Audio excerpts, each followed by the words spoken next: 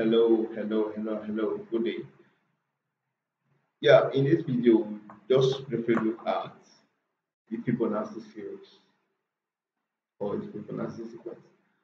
How we can use Python language to print this Fibonacci. You know, Fibonacci basically is uh, the addition of a the, the Fibonacci of a number is the sequential that number in the sense that Fibonacci of 1 is 1 because you start with a number starting from 0, 1, 2, 3, 4. Fibonacci of 0 is 0 because there's no number before it. Then Fibonacci of 1 is 1 because 0 plus 1 is 1. Then Fibonacci of 2 is also 1 because 1 plus 0 is what? Is 1. So by default, Fibonacci of 0 is 0, Fibonacci of 1 is 1. But Fibonacci of 2 is 0 plus 1, which is 1.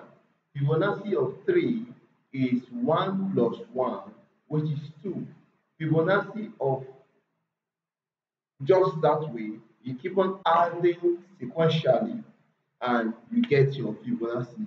So from this, we'll look how can use Python programming language to get the Fibonacci of a number one. So I'll start by saying place number number equal to int which converts the input to integer input please enter a number.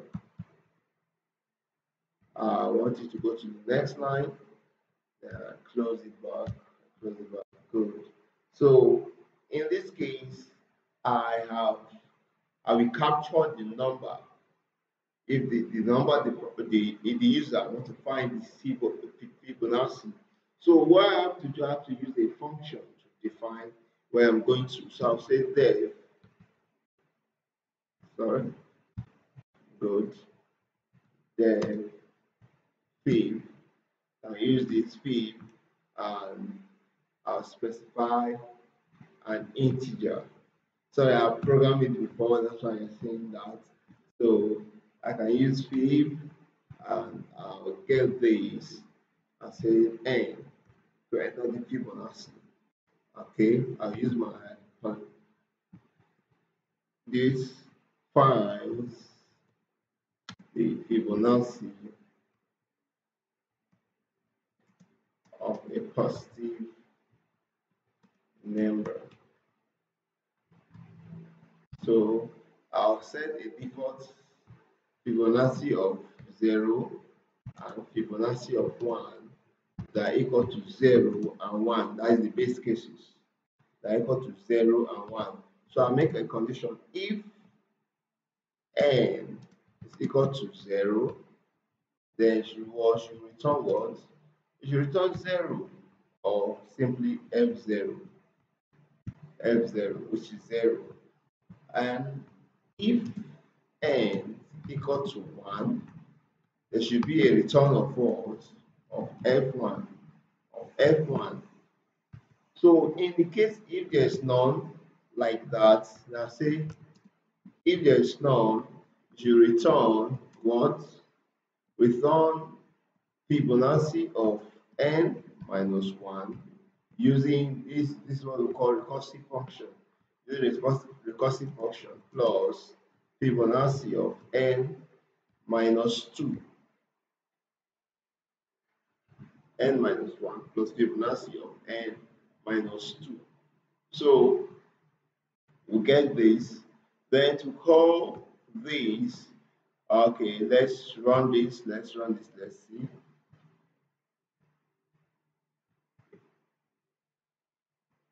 If we run this, you see that we have the Fibonacci. You give us the value here. So I will run it but for the range, for the range, to print it out, to print it out, So you can see that we have to use the for loop here to get that. And when we run this, when we run this using our key F5, and we have to make the wrong window visible now so we can see it. So on the wrong window, we enter, uh, let me say 4 as our number. It gives me the Fibonacci 0, 1, 1, 2. Then if I should get this as uh, uh, the you know get, get the Fibonacci of 4, Fibonacci of 4, it will give me what? 3, which is the Fibonacci of 2 plus the Fibonacci of 3 to give me 3. So this is just the Fibonacci series. Uh, if you want to get the Fibonacci of a particular value, you just have to use the, you just have to call the function. You just have to call the function, the fib function, and it will be executed for you. You just have to call the fib function, and it will be executed for you. For you to create a space, you can put print yeah. Um, for this output, you can print the outputs. Sorry, outputs. So when you have this, you can put here print the inputs. So when you run this again, you see it in a more organized way. You see it in a more organized way. Whereby you can see the output, you can see you have it on the screen, you have the input, you enter a number, let me say 10 for instance, then gives you the Fibonacci series of 0, 1, 2, 3, 4, 5, down to 10. Then you want get the Fibonacci of 10 itself, not the series this time around, not the series this time around, don't want to get the Fibonacci of 10, use the function fib, uh, which is the name given to our function.